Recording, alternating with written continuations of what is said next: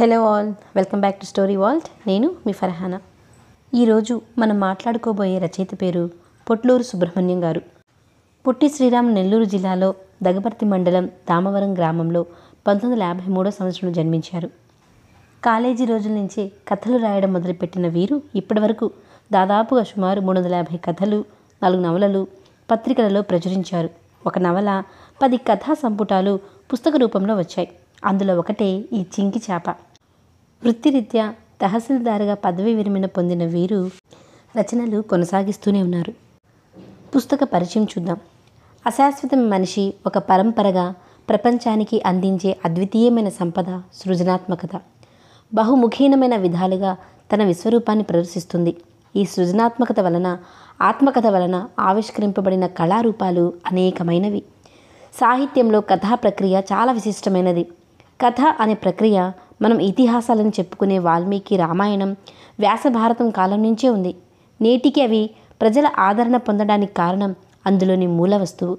ఆ కథల్లోని ఉపకథలు వాటిలోని సన్నివేశాలు సంఘటనలు మానవ మనస్తత్వాలు నేటి సమాజానికి చాలా దగ్గరగా కనిపిస్తాయి.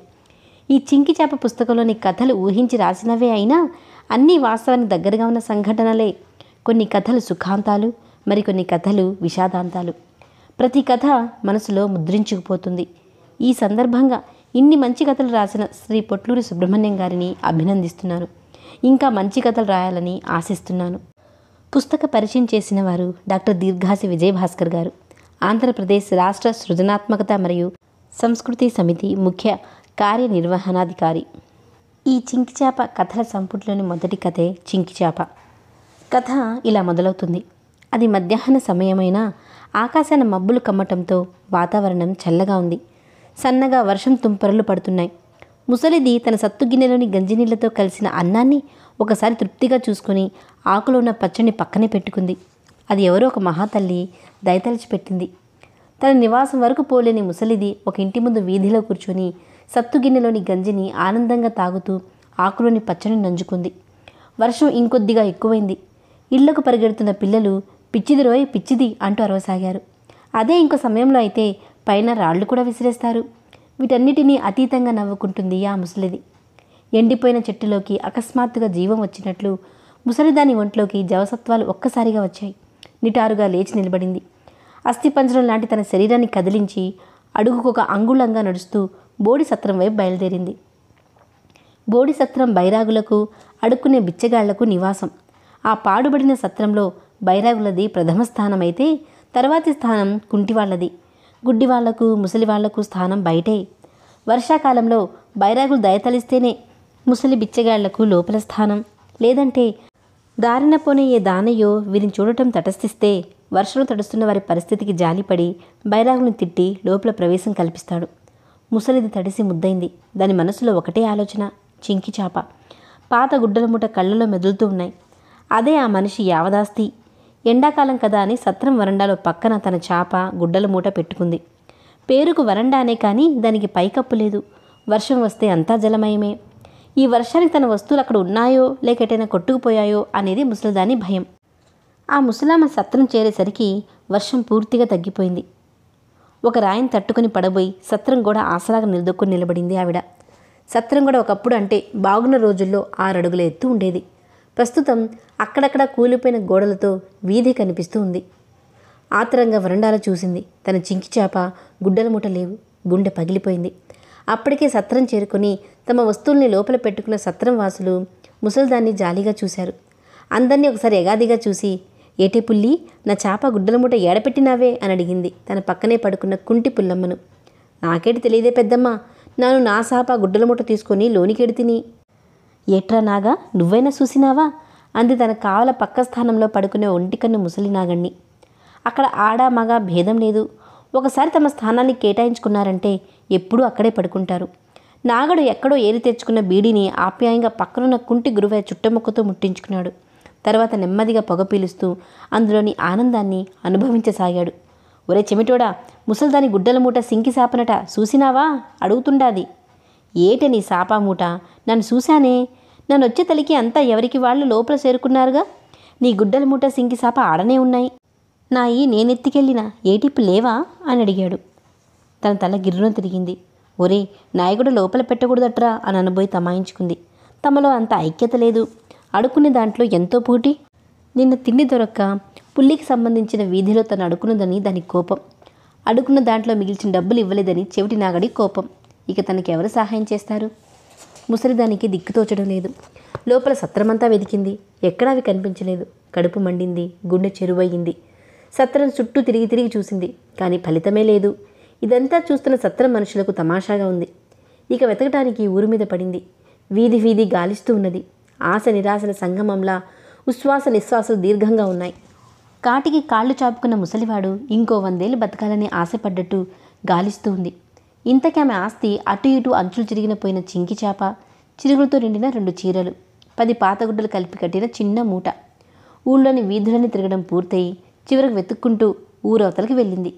పిచ్చిది రోయ్ పిచ్చిది! పశువుల కాపర్లు ఈలలు వేస్తూ చప్పట్లు చరిచారు. ముసలిదానికి అవేమీ పట్టలేదు.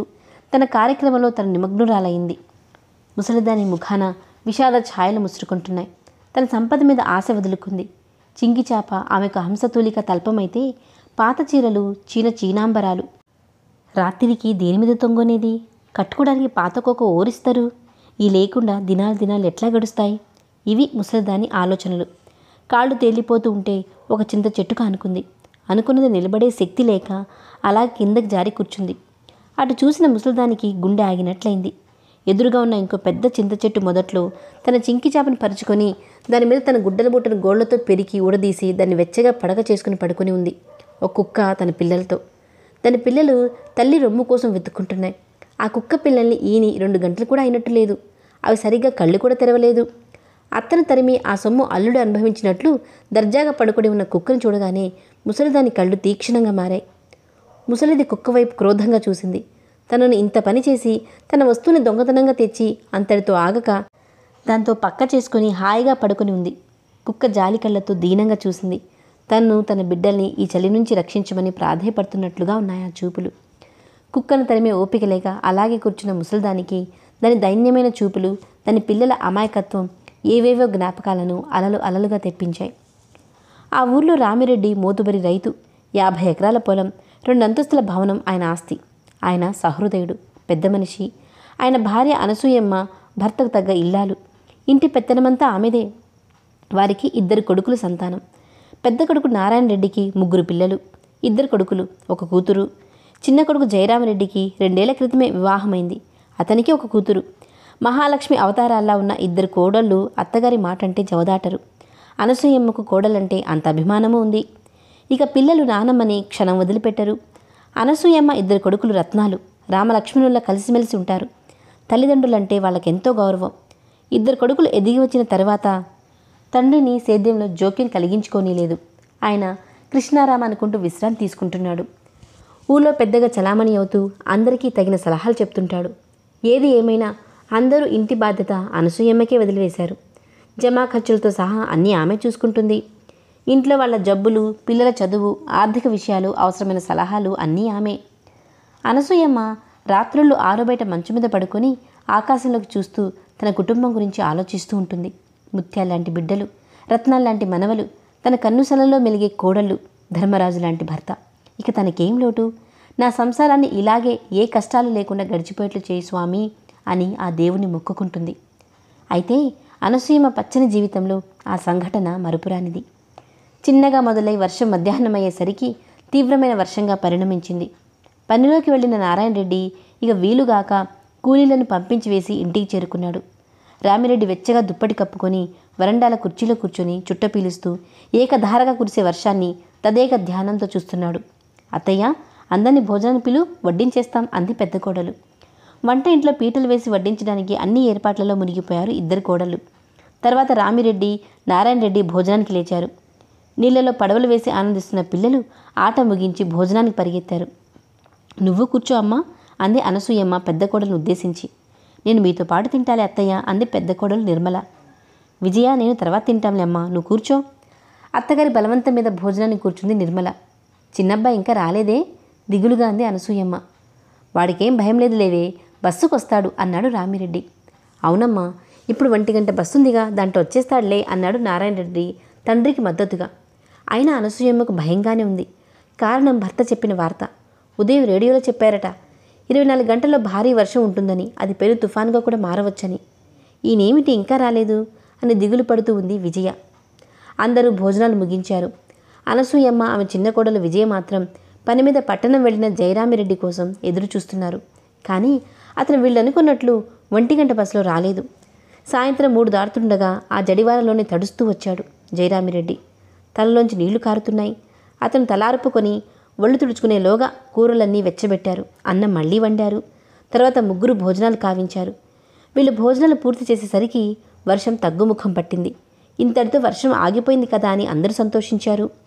పూరిళ్ళలో ఉన్న వాళ్ళు ఇండ్ల నుంచి బయటకు వచ్చి ఊడిపోయిన తాటి ఆకుల్ని చూరల్లో దోపుకుంటూ కూలిపోయిన గోడల్ని చూసి దుఃఖిస్తున్నారు. మెల్లిగా ప్రారంభమైన గాలి కొద్దిసేపటికి ప్రభంజనంగా వీచడం మొదలుపెట్టింది. మళ్ళీ వర్షం మొదలైంది. గాలి కాస్త తుఫానుగా మారింది. పొద్దుకుంకిపోయింది. చుట్టూ ముసురుకున్న చీకట్లు చూస్తుంటే అందరి గుండెలోనూ భయం పడసూపింది. కారణం సముద్రానికి దగ్గరలోనే ఉంది ఆ ఊరు. తుఫానికి తమ ఇల్లు వాకిలు కొట్టుకుపోతే ఎలా బతకాలి అనేది వాళ్ళని వేధించే ప్రశ్న. పూరిళ్ళలోనూ పెంకుటిల్లోనూ ఉన్న వాళ్ళు ఆ కటిక చీకట్లోనే సురక్షిత ప్రాంతానికి బయలుదేరారు. దేవుడికి చేతులెత్తి నమస్కారాలు పెడుతూ. ఇలాంటి సమయాలలో వాళ్ళని ఆదుకునేది రామిరెడ్డి మేడ. గర్భవతలు బాలింతలు వాళ్ళంతా దుప్పట్లు చుట్టుకొని ఒకవైపు ఏడుస్తూనే పడుతూ లేస్తూ నడుస్తున్నారు. కొంతమంది లాక్కుంటున్న పశువుల గాటి వలపులు విప్పి వదిలివేశారు. చిన్నపిల్లల్ని ఎత్తుకొని కొంతమంది ముసలి వాళ్ళను భుజాన వేసుకుని కొంతమంది రామిరెడ్డి ఇంటివైపు పరుగులు పెడుతున్నారు. తమను ఈ ఆపద నుంచి తప్పించమని ఎవరికి వాళ్ళు దేవుని ప్రార్థిస్తున్నారు. కానీ ప్రకృతి వాళ్ళ మాటలను పెడచెవిన పెట్టింది. ఝంఝం మారుతంతో చెవులు మారుమ్రోగసాగింది రామిరెడ్డి మేడ ఊళ్ళోని జనంతో కిక్కిరిసి ఉంది.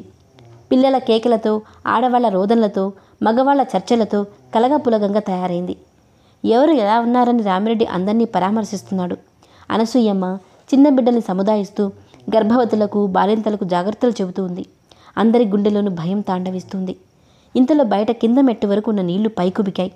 పై మెట్టు మీద నుంచి వరండాను తాకాయి. ఆ మెరుపు వెలుగులో చూస్తున్న వాళ్ళ గుండెలు జల్లుమన్నాయి. అవి వర్షపు నీళ్ళలా లేవు. ఎవడో వంగి కొద్దిగా నీళ్ళు నోట్లో పోసుకున్నాడు. నీళ్ళు ఉప్పగా ఉన్నాయి. సముద్రం పొంగిందిరో అని పెద్దగా అరిచాడు. ఆ కేక అందరికీ చావు కేకలా వినిపించింది. ఎక్కడి వాళ్ళు అక్కడే బిర్రబిగిసిపోయారు. సముద్రం పొంగడమా? ఓరు నాయనో అని అనుకున్నారు. అందరూ రెండవ అంతస్తు చేరుకున్నారు. రామిరెడ్డి అనే ఇద్దరు కొడుకులు కిందనే ఉండి టార్చ్ లైట్లు వెలిగించి కొందరి సాయంతో ముఖ్యమైన వస్తువులను పైకి చేరదీస్తున్నారు. క్రమేణా క్రింది అంతస్తు అంతా నీటితో నిండిపోయింది. తరువాత రెండో అంతస్తులో కూడా నీరు చేరడంతో అంతా మేడపై భాగాన చేరారు. పైనుంచి పడే వర్షం ఈదురుగాలి కటిక చీకటి ఏమీ తోచడం లేదు. కోడలిద్దరినీ చిన్నపిల్లల్ని పక్కనే పెట్టుకుని దుప్పటి కప్పుకొని ఉంది అనసూయమ్మ. ఆమె తను ఎవరికి ఏం అపకారం చేసిందా అని ఆలోచిస్తుంది. భర్త ఇద్దరు కొడుకులు ఎక్కడున్నారో ఆమెకు తెలియదు. మేడ మీద ఉన్న అందరూ ప్రాణాల మీద ఆశ కోల్పోయి ఉన్నారు. రెండో అంతస్తులో ఏదో వస్తువుల కోసం పోయిన రామిరెడ్డి అతని ఇద్దరు కొడుకులు పైకి రాలేదు. రెండో అంతస్తు పూర్తిగా నీటితో నిండిపోయింది. తరువాత గోడ చేపట్టు వరకు నీళ్ళు ఊపికి అంతా సమతలంగా కనిపిస్తుంది. ఒకే పెద్ద దుప్పట్లో అనసూయమ్మకు ఆ వైపు ఈ వైపు చెరొక బిడ్డను ఎత్తుకుని నిలబడి ఉన్నారు ఇద్దరు కోడలు పన్నెండేళ్ళవాడు పద్నాలుగేళ్ళవాడు ఆమె ముందు నిలబడి ఉన్నారు. వాళ్ళ నడుములకు పైగా నీళ్ళు వచ్చి ఉన్నాయి. అత్తయ్య మామగారు బావ ఆయన కిందకి వెళ్ళారు. ఎక్కడున్నారో ఏమో చివరికి ఏమవుతుందో అంది ఏడుస్తూ చిన్న కోడలు. ఇంకేమవుతుంది విజయ? మనకిక చావే శరణ్యం. చచ్చే క్షణంలోనైనా ఆయన ఒకసారి చూస్తే మంచిది అని వెక్కి వెక్కి ఏడ్చింది పెద్ద కోడలు నిర్మల. అనసూయమ్మ కారే కన్నీటిని తుడుచుకోకనే అలా అనకండమ్మా. ఇకనైనా ముంపు తగ్గుతుందేమో చూద్దాం.